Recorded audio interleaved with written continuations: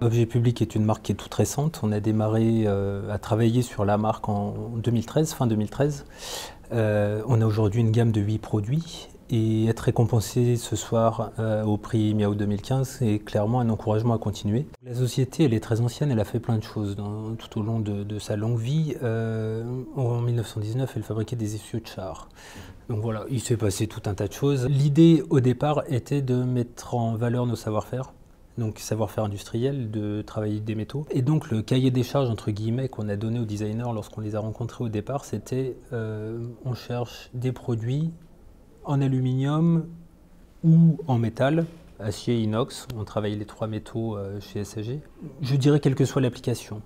L'idée étant qu'effectivement on soit sur des marchés totalement différents et que euh, le design soit une réelle valeur ajoutée au produit. C'est une très belle rencontre avec avec euh, une entreprise et des gens qui ont euh, cette culture qui, euh, effectivement, comme le disait Sébastien Beauchesne, est une culture d'ingénieur au départ, mais qui en même temps sont complètement réceptifs à l'innovation. Et preuve année objet public, qui a tout de même l'ambition d'arriver sur un, sur un, marché qui n'est pas un marché neuf, hein. il y a déjà d'autres opérateurs, etc., mais qui a toutefois cette ambition euh, de revisiter euh, le genre. Et je pense que c'est l'objet de notre démarche avec Objet Public, c'est euh, de considérer que les mobiliers urbains qu'on met dans l'espace public n'ont de mobilier que le nom qu'en réalité ce sont des objets qui ont vocation à être statiques, à être liés à un lieu et à être liés à un contexte architectural. Et c'est l'objet, entre autres, d'Herbe Folle, euh, qui nous a valu cet honneur d'être primé ce soir. Ce rapport au contexte, cette possibilité d'adapter euh, un mobilier à un contexte et d'usage et un contexte euh, dans le sens lieu lieu d'implantation, un contexte d'implantation. J'ai le sentiment que la question des usages est une question centrale et qu'au final, c'est toujours elle qui gagne.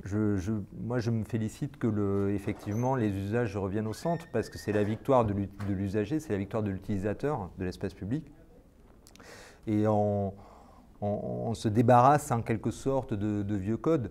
Nous, c'était aussi une part de notre réflexion. Quand on a décidé de faire des assises publiques, euh, bien sûr, on avait à l'esprit euh, euh, cette notion de banc avec le dossier, etc., très évocateur d'un confort, etc. Mais sauf que quand on a réfléchi concrètement à la chose, s'est dit oui, d'accord, il évoque le confort, sauf qu'en termes d'usage, il n'est pas du tout adapté à des usages actuels, ou du moins il est adapté à une très faible part en fait, des usages actuels qu'on peut avoir d'une assise publique. Je pense que c'est un objet qui a, cette souplesse de pouvoir, euh, pouvoir s'adapter à, beaucoup d'endroits différents. Alors après, euh, c'est vrai que là, on présente la version euh, inox miroir. Euh, donc en plus de ça, en termes de contextualisation, la faculté de refléter son environnement. L'urbaniste va pouvoir le disposer, disposer cette petite famille d'objets individuels à sa guise en fonction du lieu d'implantation. Et c'est aussi un mobilier qui, euh, qui, permet euh, d'avoir autant d'usages que, de, personnes. C'est-à-dire que si, je viens en groupe, si j'ai un groupe de lycéens qui vient, ils vont pouvoir l'utiliser en vis-à-vis. Euh, si, ce sont quatre personnes qui ne se connaissent pas, ils vont pouvoir l'utiliser en dos à dos. On a des, des assises de hauteur différentes qui permettent d'utiliser certaines parties comme des, des, tablettes pour poser des éléments, pour poser des documents. On voit de plus en plus que, j'ai vu encore une étude récemment qui disait qu'il y a de plus en plus de gens qui prenaient leur repas à l'extérieur. Euh, c'est quelque chose qui se fait beaucoup. Euh, donc voilà, on est, on est complètement libre en termes d'usage.